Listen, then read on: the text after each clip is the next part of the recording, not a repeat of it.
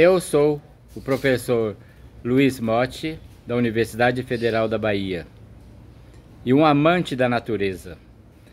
O bambuzal do aeroporto é uma das partes turísticas mais impressionantes da Bahia, de Salvador.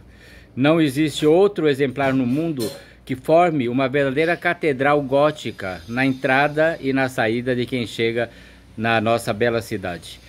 Há anos que eu venho defendendo que haja uma preocupação do poder público no sentido de preservar essa riqueza. Tem que ver as mudas que estão sendo necessárias de ser replantadas, colocar adubo se for o caso, retirar as folhas secas, colocar cartazes né, fixos dizendo proibido fumar, porque uma, um simples toco de cigarro aceso ou um fósforo aceso pode destruir aquilo em segundos. Colocar extintor de incêndio, a brigada de, dos bombeiros tem que sugerir medidas para evitar uma catástrofe, de modo que salvemos e conservemos essa, esse patrimônio natural de Salvador.